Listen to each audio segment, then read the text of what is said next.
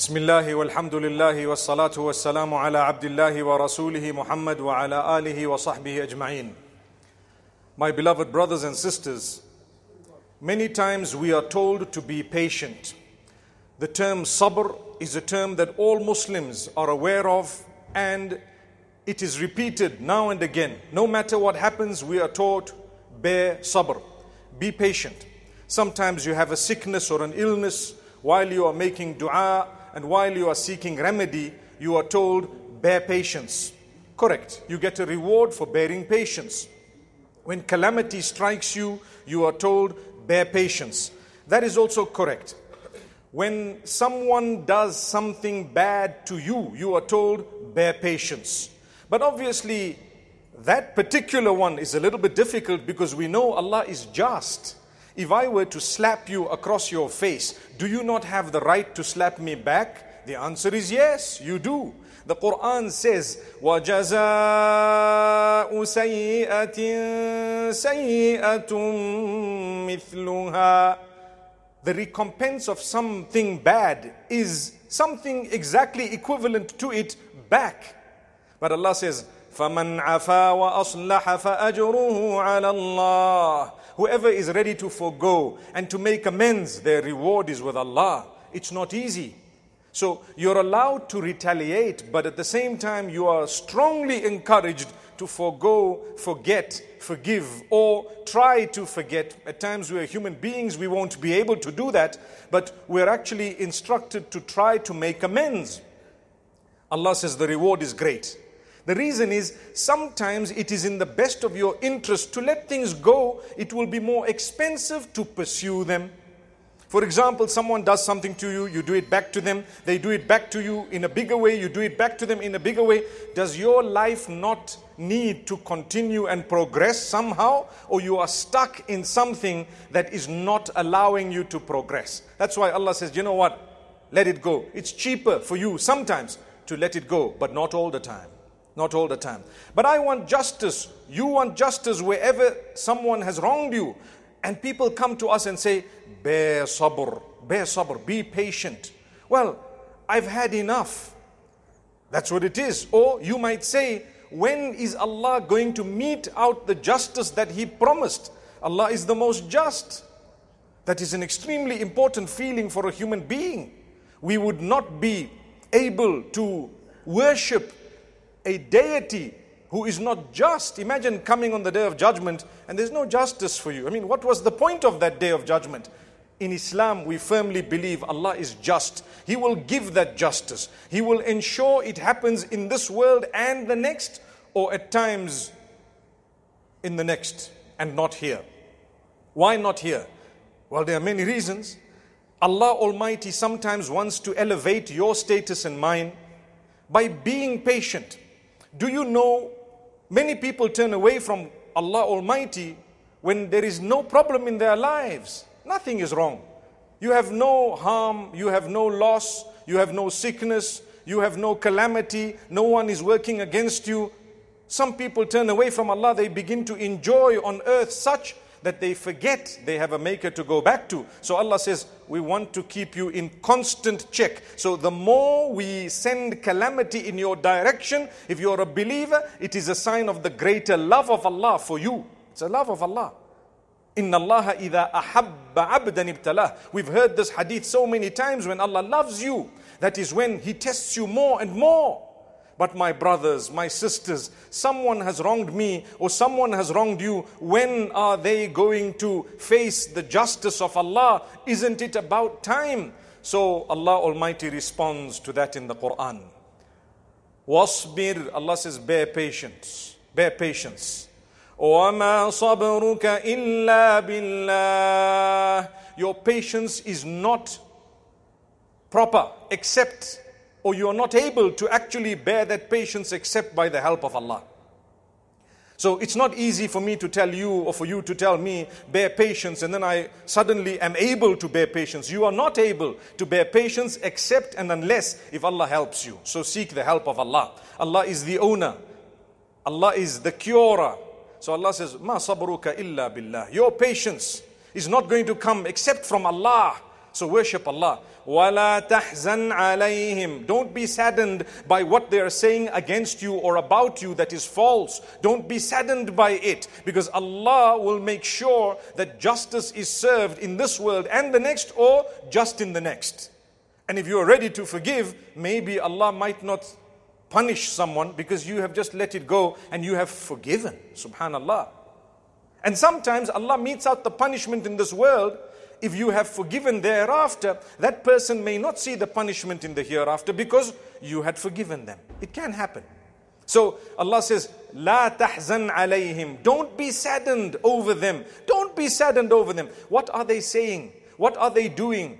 against you. Don't worry. Allah says, We are here. We know what's going on. We planned it for you before you were born. That is the meaning of the term predestiny. So thank Allah. Don't worry. What are they able to do? What are they going to do? What's the worst thing? They're going to mess your life a little bit. Who is the owner of their lives? Allah. So hang on, Allah is coming. Why does Allah give us time? Why does Allah give them time? Why? We want to see it here and now. Someone slaps you and you want to see an angel slap them at the same time. The head is moving. What happened? Ah, oh, ow. But no one hit you. You want to see. No. Allah says, وَكَانَ الْإِنسَانُ عَجُولًا Man was always in haste. He always wants things quick, quick. Relax. We know the right time. We know the right time. It's coming. So Allah subhanahu wa ta'ala says, فَاصْبِرْ Inna wa'dallahi haqqo. Bear patience, bear beautiful patience. Wallahi, we promise you. Allah says, Inna. Inna is emphasis. Allah Almighty says, we emphasize that what? The promise of Allah is the truth. Fasbir. Inna wa'dallahi haqqo. Bear patience. The promise of Allah is the truth. If Allah told you He's coming for them, He's coming for them. If Allah told you He's coming for you, He's coming for you. It's the truth. So, what does Allah say? In the meantime, that is the moment when you are supposed to come closer to Allah. Do not allow your calamity to drive you away from Allah. Do not allow your problem on earth to take you further away from Allah. Your problem, your calamity, the issues you have with people, or whatever it may be in terms of negativity, it must bring you closer to Allah. Allah says, Bear patience, the promise of Allah is the truth. فاصبر إن وعد الله حق وَاسْتَغْفِرْ لِذَنْبِكَ In the meantime, continue to seek forgiveness for your own sins. Doesn't mean someone has wronged me, I'm waiting for the justice. Have you wronged someone else? That's a good question. Are you in the right place with Allah that you are supposed to be? Do you even pray? Do you even do what Allah wants you to do? Do you even abstain from haram and you want justice? Yes, justice will be served, but sometimes you might be in greater wrong than you actually think. So Allah says, Istaghfir li dhanbik. Seek forgiveness for your sin. Wasabbih bihamdi rabbik. And declare the praise of Allah. Worship Allah. Glorify in the praise of Allah subhanahu wa ta'ala. In the praise of your Lord. Bil wal ibkar. At night and early morning. Which means morning and night worship Allah. And don't worry about what they are saying. Don't worry about what they do because Allah Almighty will definitely mete out the justice at a time. He has given this respite in order for that person to make amends and for you to become a better and closer person to Allah. That's one of the reasons. So things are not coming right. Why? Because Allah loves you. He says, Come closer. So now you are doing five salah a day. He says, come even closer. So now you are doing your sunnah. Come even closer. So now you are doing your tahajjud. Come even closer. Now you are reading Quran. Come even closer. Now you've improved your dress code. Come even closer. Now you've eradicated haram relations. Come even closer. Now you've actually done this, this. What's happening? The longer he's delaying, the better you as a believer is becoming. That's a gift of Allah. But if you're going further away or you haven't learnt a lesson, then you'd better take heed. That's why Allah says, you think someone wronged you, in the interim, you seek forgiveness for your sins. In fact, Allah Almighty tells Musa alayhi salam and Harun when they prayed against the Pharaoh, Allah subhanahu wa ta'ala says, قَدْ أُجِيبَتْ دَعْوَتُكُمَا فَاسْتَقِيمًا We have already answered your dua. It's a matter of time before we destroy the Pharaoh. They already knew through revelation, but Allah didn't stop there. He says, in the meantime, be steadfast. Imagine to the prophets, Allah is saying, in the meantime, be steadfast. Allah says, bear patience in so many places in the Quran. And a day will come when the Almighty will bless you with the justice that you deserve. May Allah Almighty grant us goodness. May Allah Almighty help us. If Allah has promised you Jannah for something, He will give you that Jannah. If Allah has promised you forgiveness, He will forgive you as soon as you seek that forgiveness. If Allah has promised you a great reward for something, He will give you the reward. If Allah has promised you something amazing for a deed that you're doing, when you do it correctly, He will give you the deed. Whenever you've done a good deed, you say, Rabbana taqabbal minna. Oh Allah, accept it from us. I did the deed, but I'm not too sure as to the exact sincerity of the deed or the concentration within the deed. For example, your prayer, your charity. Sometimes you give a charity, a small feeling within you of a slight droplet of pride comes in. Don't allow that to spoil your deed. Quickly say, Oh Allah, accept it from me. I am your humble servant. You gave me wealth, not for me to become haughty and proud, for me to help others so that I can earn Jannah. Here it is. I got and I gave as best as I could. Accept it from me and still grant me the humbleness and humility. That's why there is a great reward for a person who respects the poor, knowing my charity was not going to be possible if there were no poor people on earth. You thought about that? A masjid, you come to it to fulfill salah, one of the pillars of Islam. A poor person, you got to go to them to fulfill another pillar of Islam. How do you treat the masjid and how do you treat the poor person? Did you know the treatment of the poor person is more important than the treatment of the masjid, although it is the house of Allah? Like the hadith speaks about the value of the Kaaba. Great, mashallah. The greatest. Why not? But the value of another human being, sacred. That blood is sacred. It's on another level. May Allah Almighty grant us humility, humbleness. When Allah has promised something, it will definitely occur. When Allah has promised that Justice will be served for you or against you. It is coming for you or against you. No chance that it's going to go away. But I tell you, my brothers, my sisters, that patience, Allah has told all the prophets to bear it. So bear patience. If Allah promised you cure, if Allah promised you profit after loss, it will come. But bear patience. And in the meantime, be steadfast. Don't lose yourself. This world is very temporary. It's the akhirah that is permanent. In this world, we are here to lose things. We will lose our loved ones one after the other. It's the plan of Allah. There's no chance that you're not going to lose your loved ones. If you haven't already lost close people to you, get ready. It's going to happen.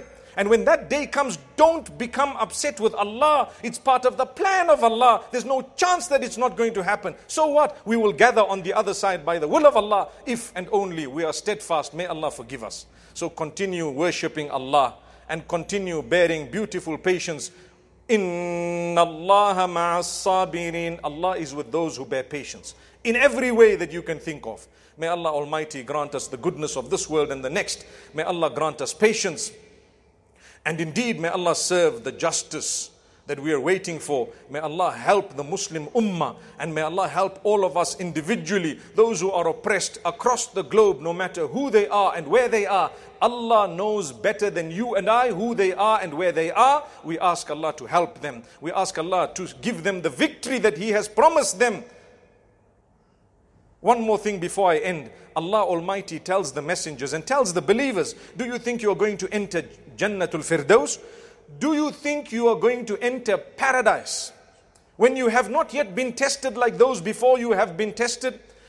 أم حسبتم أن تدخلوا الجنة ولما يأتكم مثل الذين خلوا من قبلكم do you really think you are going to go to paradise without a test?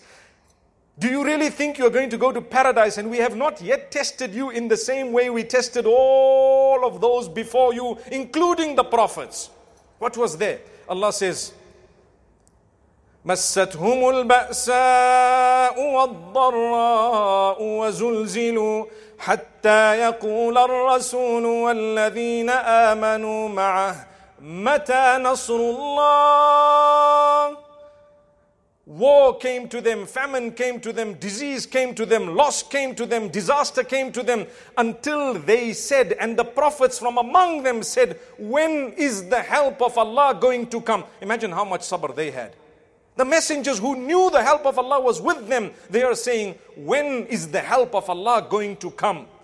That's the question they were asking. So for you and I, it's a simple question. I started off this lecture with a similar question. When is the help of Allah going to come? Allah says, Allah, behold, are you a believer? We revealed to you what? The Quran.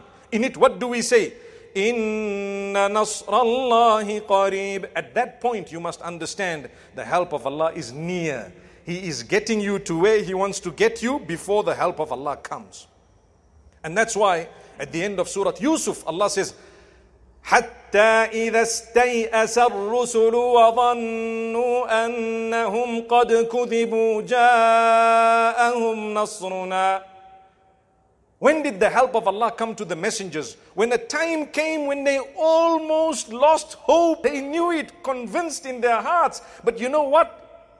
At times it becomes so difficult. You can imagine as a human, some of us go through challenge upon challenge. One is barely ending, and there's another one bigger than that one. And then another one comes bigger than the other one. But Allah built you through it. He knew I'm going to help you one by one to become stronger and stronger so you can bear the 20th challenge which is going to come in your direction that will be so massive. If we started with it, it would have finished you. So we started with the small ones to make you practice. One day this guy troubles you, next day that guy troubles you, then the big guy troubles you, then a bigger guy comes, and then something huge happens. You thank Allah, oh Allah, you, you already trained me, man. Subhanallah, subhan. Look at it that way. It's a positive thing. You look at the young now, and you look at the environment outside and how corrupt it is.